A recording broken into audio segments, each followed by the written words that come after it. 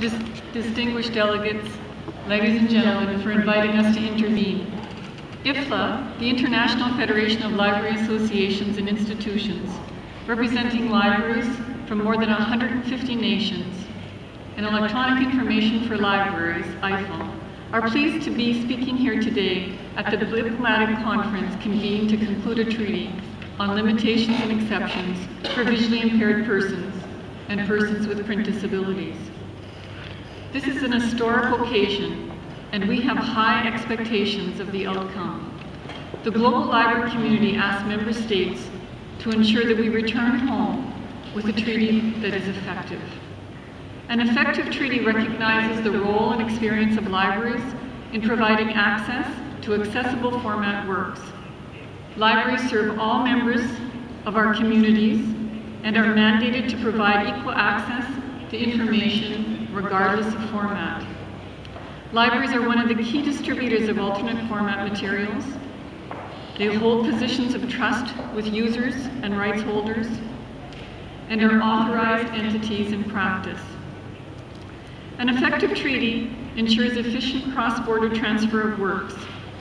Libraries have a long tradition of managing the supply of materials on a non-commercial basis to users, between institutions, and where permitted, across borders.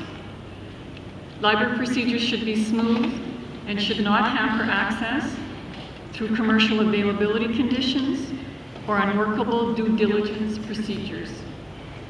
An effective treaty upholds the right to read for the world's print-disabled people, regardless of format. It cannot allow the application of a digital law to prevent access for visually impaired and print-disabled people. An electronic switch must not be allowed to trump fundamental right to read.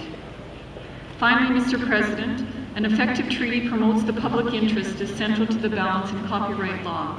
The, the three-step test in international law is intended to balance the rights of creators alongside the public interest in access to works. A treaty for print-disabled people must not be used to expand the reach of the three-step test. We in the library profession recognize the financial barriers and limits of local capacity that exist to make works accessible. We know that the single most important way to alleviate the book famine is to address the legal barriers in making works accessible worldwide. Libraries are one of the main agents delivering materials and information services for visually impaired people, and we are very familiar with the impediments. The treaty must be fit for purpose to deliver books and information to people who are blind and print disabled. Library representatives are here at the disposal of delegates during this conference.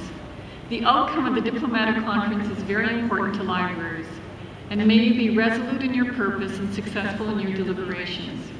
Thank you very much for your attention.